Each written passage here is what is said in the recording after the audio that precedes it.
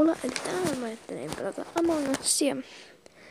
Tosiaan, mm, tai se oikeastaan mä en ajatella pelata Among Usia, vaan kerta pari juttua, nimittäin on otettu melkein kaikki screenshotit tänään. Mulla alkoi etäkoulujakso samoin mun koko luokalla. Tosi kiva. Tää voisi olla data. Tosiaan kello on vain 11 illalla, koska mä en ehtinyt aikaisemmin kuvata. Kun mulla meni kouluun tehdessä yhdeksään. Mm, ja siinä mä tein niin aika pitkään, niin joo. Jos tää itse peli ehtis käynnistyä. Jos ei tehnyt, niin pitää valitettavasti lopettaa. Oikeesti, jos tää ei minuutin, siis puolen minuutin sisällä käynnisty, niin mä öö, pitää lopettaa tää video, koska mulla ei ole tilaa puhelimessa.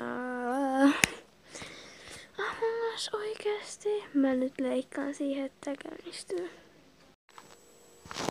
Tosiaan mm, pääsin peliin. Mm. Pelaamme yhteen peliin ja vaikka pelaan vähän aikaa. Koitetaan onks mennä.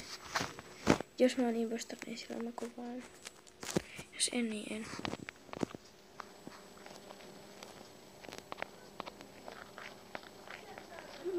Miksi minä?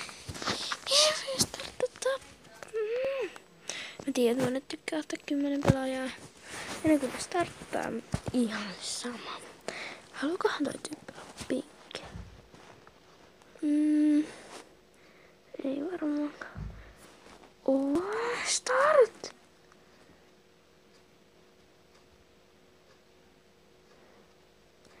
Äh. Vihdoin. on. Niin.